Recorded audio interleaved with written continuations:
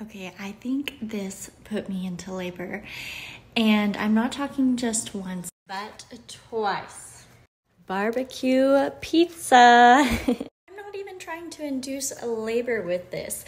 All I know is that this is what I ate the night that I went into labor with both my daughters.